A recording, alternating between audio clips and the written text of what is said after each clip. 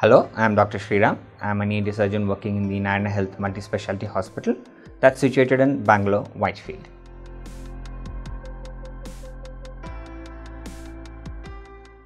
Now, puberphonia, or as technically it is called a mutational falsetto, it is a uh, it's a condition seen in uh, young kids who have just attained puberty.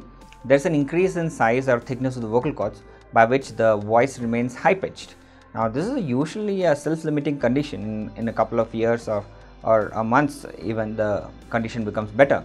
In any case, it can persist in some conditions, in some uh, situations where there is an emotional stress involved, or there is some amount of cognition problem, or there is a, a, reduction or the absence of a fusion of the thyroid lamina.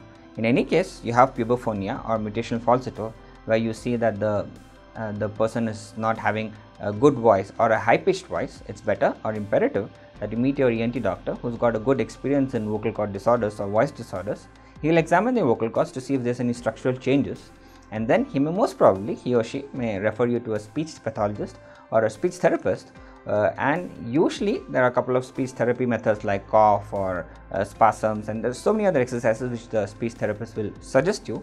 And in that condition most probably by those uh, measures the pubophonia or mutational falsetto will become better. Rarely there is there's a surgery called the phonosurgery type 3 uh, that may uh, can be or can be suggested to perform but that's very rare. In any case you have voice change after puberty wait for a couple of uh, couple of months or uh, maybe some time. And if it doesn't improve meet your ENT surgeon who can actually give a proper uh, good treatment for your condition